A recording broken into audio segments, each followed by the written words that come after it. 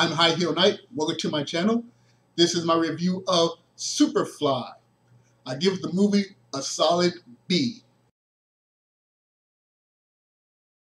Superfly is a remake of the classic film of the same name from the 70s, back in the era of blaxploitation films. It's about a hustler named Youngblood Priest. He's been doing jobs and criminal activities ever since the age of 10. And while he has a criminal record, uh, his adult record is relatively clean. Uh, he's never been arrested. He rarely resorts to violence. He can uh, commit violence both with firearms and hand to hand if necessary, but he prefers to resolve conflicts and issues with wisdom and words rather than straight out intimidation and violence, which is something uh, very clever and wonderful to see. After an altercation with a rival gang member, he decides it's time to get out of the game. so he wants to do one last big elaborate scheme in order to get enough money to uh, flee Atlanta, flee the city, flee the country, along with his two live-in love interests. Now, normally with a theatrical release film, I would go well into spoilers, but this movie is flying very low under the radar. In fact, I struggled to find a variety of images to make this video. So uh, I'm not going to go into deep spoilers. I'm just going to give a general uh, statements about what I like and what I disliked about the movie.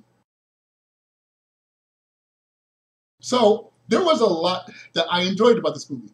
I'm not sure if I saw the original Superfly way back in my teens during the age of blockbuster video. I rented a lot of blaxploitation movies, so my memories aren't perfect, and I just can't remember if I saw the original uh, Superfly or not. But if I did, I'm glad I forgot because uh, this movie offered a lot of nice surprises and twists. Uh, the action was cool. There's an amazing car chase sequence. There's uh, an amazing gunplay sequence. There's a cool uh, judo fight sequence. And the music, although I'll say a negative in the negative section, the music was very cool. So yeah, uh, and the acting was nice. I'm not familiar with the uh, lead actor, but the acting was nice by him and many of the principal characters. So on those general fronts, I have a lot of praise. There are only a handful of negatives I have about this movie.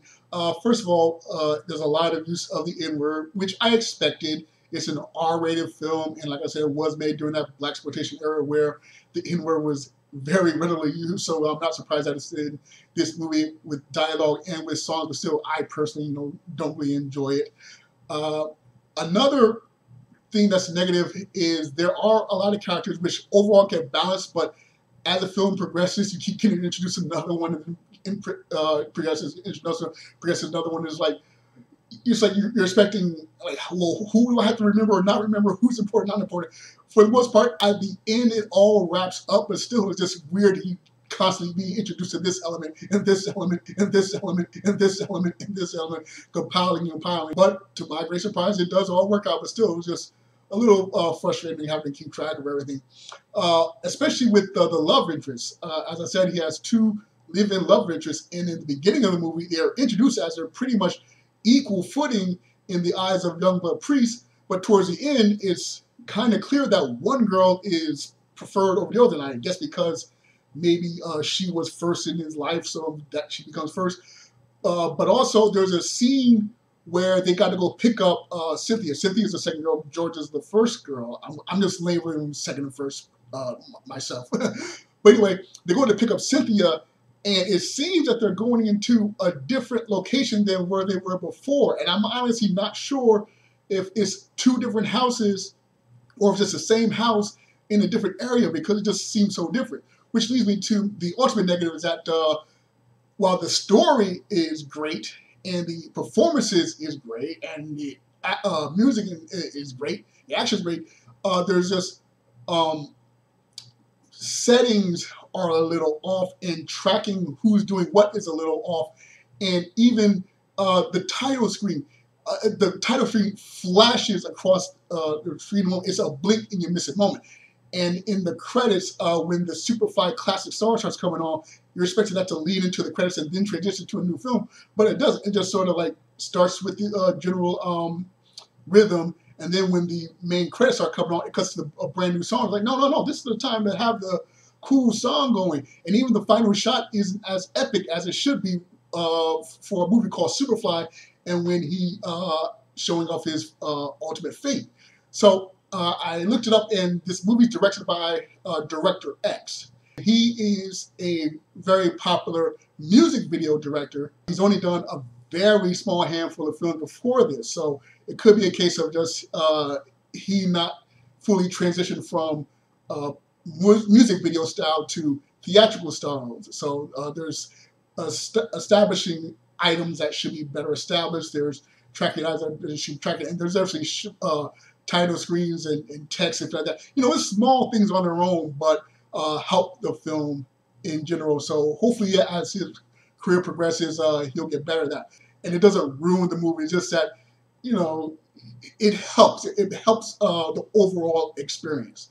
So, uh, you know, maybe he'll get better in time. I hope so. So like I said, this film is very entertaining, it's very exciting, it's very thrilling, cool action, cool scenes. I really like the Youngblood character. I like the idea of a guy that's a hustler but can get by more with words than with just with threats and punching and violence. Only using violence when he absolutely has to, and even then when he does has to, he, he wants to utilize his brain. It, it's sort of like watching an evil version of uh, T'Challa, the Black Panther. you know, so it was very cool. And if Director X uh, can make some adjustments in future films, I think uh, he has a really great career uh, going forward in theatrical releases, just as he has with uh, music videos. Uh, and aside from, of course, the you know N-word, I'm not into that. And maybe you have no problem, maybe you do, but I'm not into that. But hey, I knew it was going to come to the territory. So Bottom line, I enjoyed it. Very nice, uh, very promising, very exciting, solid B grade. Okay, thank you very much for watching. I greatly appreciate it. Be sure to post whatever comments you like in the comment section. Be sure to like, share, and subscribe, or dislike, share, and subscribe. Once again, I'm High Heel Knight. Thank you very much for watching, and remember, find inspiration everywhere.